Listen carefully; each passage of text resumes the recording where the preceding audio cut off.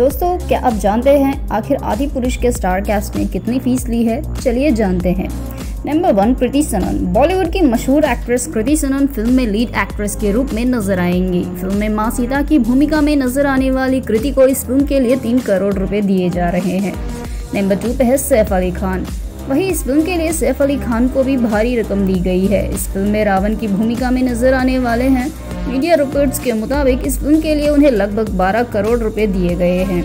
Number तीन, Sonal Chauhan. Film में आम किरदार में नज़र आने वाली सोनल ने 50 लाख से भी ज़्यादा फ़ीस ली है।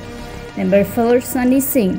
सनी सिंह जिन्हें लक्ष्मण के रूप में देखा जाएगा, उन्हें डेढ़ करोड़ रुपए दिए जाएँगे। नंबर फाइव प्रभास, बाहुबली की सफलता के बाद देश के सबसे बड़े सितारों में से एक अभिनेता प्रभास ने अपनी फ़ीस बढ़ाकर 100 करोड़ रुपए से अधिक कर दी है।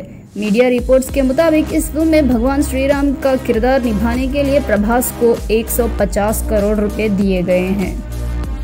अगर आपको ये वीडियो अच्छा लगा है तो इसे आप अपने दोस्तों के साथ शेयर कर सकते हैं। और अगर आप ऐसे ही वीडियोस आने वाले समय में देखना चाहते हैं तो हमारे चैनल को सब्सक्राइब कर सकते हैं। धन्यवाद।